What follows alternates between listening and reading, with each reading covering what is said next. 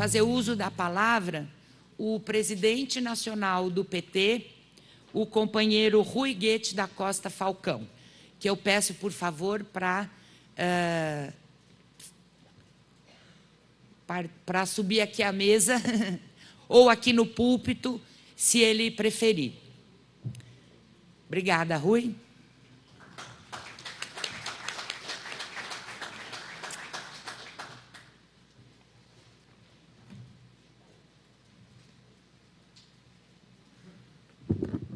Bom dia, caros companheiros e caras companheiras. Quero cumprimentar os dirigentes, integrantes dos partidos que compõem a Aliança Progressista. Saúdo também a companheira Mônica Valente, secretária de Relações Internacionais do Partido dos Trabalhadores, e, em seu nome, os membros do PT e da Fundação Perseu Abramo, que participam desse seminário sobre democracia e justiça social. Inicio com a poesia do grande compositor brasileiro Edu Lobo, cujos versos são muito apropriados ao momento que o nosso país vive atualmente. Diz o nosso poeta: é um tempo de guerra, é um tempo sem sol. Sem sol, sem sol, tem dó. Só quem não sabe das coisas é um homem capaz de rir. Ah, triste tempo presente, em que falar de amor e flor é esquecer que tanta gente está sofrendo tanta dor. Cito o poeta para denunciar o que sofre o nosso povo com o atentado em curso contra a democracia brasileira. A democracia, esse principal valor das sociedades civilizadas que cada partido aqui presente preza, dignifica e busca fortalecer em seus países. Pode parecer estranho que a democracia esteja sendo violada aqui no Brasil quando nos reunimos livremente, trocamos ideias, expressamos nossas posições e até planejamos ações comuns. Mas o fato é que vivemos um novo e indigno capítulo da nossa história. Após 31 anos de vida democrática, um, um golpe de Estado busca depor a presidenta Dilma Rousseff, a primeira mulher a governar o Brasil e que foi reeleita em 2014 com mais de 54 milhões de votos. Creio que ontem já se explicou aqui que nós vivemos num regime presidencialista e, portanto, não existe a figura da deposição do governo pelo parlamento, visto que isso é uma característica dos regimes parlamentaristas, que não é o caso do Brasil. Alegam os golpistas que o impeachment, o impedimento em andamento, está previsto na Constituição Federal e que, portanto, seria legal e legítimo encurtar o mandato da presidenta.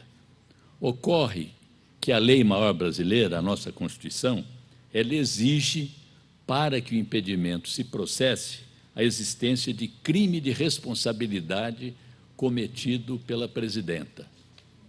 Como todos sabem, porém, a presidenta Dilma não cometeu crime algum. Não pesa contra ela qualquer denúncia de corrupção ou de recebimento de propina. Ao contrário de seu principal algoz, o presidente da Câmara dos Deputados, que conduziu a primeira fase do processo, o deputado Eduardo Cunha, réu no Supremo Tribunal Federal pelos crimes de corrupção, lavagem de dinheiro, ocultação de bens e evasão de divisas. Companheiros e companheiras, comanda o golpe o vice-presidente da República, que registra 1% de intenção de voto caso passasse pelo teste das urnas, e que acumula nas pesquisas uma rejeição próxima de 80%.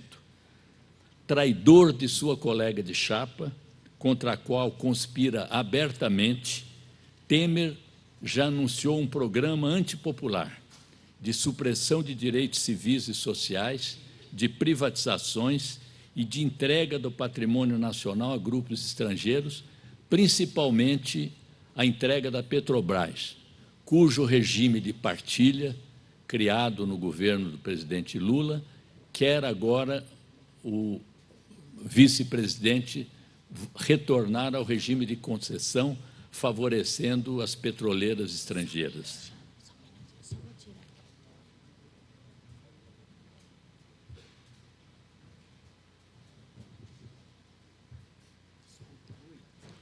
Faz parte aqui da, da quebra de protocolo nosso. É, mas, como eu dizia, há um programa já apresentado chamado Uma Ponte para o Futuro, que alguns apelidaram de um túnel para o passado, que prevê cortes em programas sociais, é, mudanças na, na lei da Previdência Social, enfim, todo um programa de retrocesso, um programa de conteúdo neoliberal que ficara no passado aqui em nosso país. Mas essa escalada golpista que denuncio aqui só foi possível graças à participação ativa do grande capital de setores do aparato policial e judicial do Estado, mancomunados com a mídia monopolizada e a oposição de direita. São eles, esses grupos, o centro dirigente de uma operação destinada a subverter o resultado das urnas, nas quais foram batidos em quatro eleições sucessivas desde 2002. Desde então, desde 2003, quando o presidente Lula tomou posse, o Brasil viveu uma verdadeira revolução política, econômica e social. Nesse último período, o país saiu do mapa da fome e passou a ser respeitado mundialmente. 40 milhões de pessoas ascenderam socialmente. Nossos governos construíram mais universidades e escolas técnicas do que em toda a história precedente do país. A política de cotas e de financiamento estudantil possibilitou que pobres, negros e negras chegassem às faculdades, rompendo a barreira dos preconceitos racial e social. Foi esse projeto democrático popular e de emancipação nacional, iniciado pelo companheiro Lula, que assolou o ódio e o golpe das elites contra nós.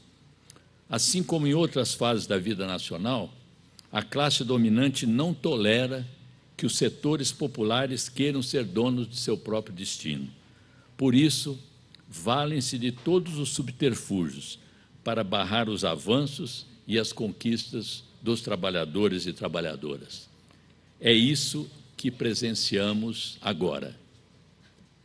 Companheiras e companheiros, em nome do combate à corrupção, que sempre apoiamos com medidas concretas, o país assiste a um festival de investigações seletivas dirigidas contra o PT e contra o ex-presidente Lula. Sucedem-se vazamentos ilegais e atropelos de garantias individuais a evidenciar que a nação está sendo sangrada pela construção de um regime de exceção e arbítrio sob o comando de forças conservadoras, cujo único objetivo é voltar ao governo a qualquer custo. Esses mesmos grupos reacionários, no passado, recorriam aos quartéis, como em 64, quando se instalou no país uma ditadura sanguinária que durou mais de 20 anos. Agora, aliciam inimigos da democracia nos tribunais, no Ministério Público e na Polícia Federal, estimulados e protegidos pela imprensa monopolista estão gestando um estado de exceção no interior do Estado democrático de direito.